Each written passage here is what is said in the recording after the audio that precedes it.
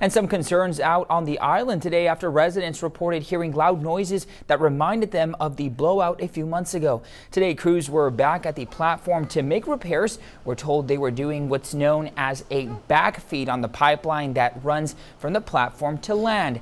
There was never any danger to the public, and as you can see, emergency crews were on hand just in case anything were to happen.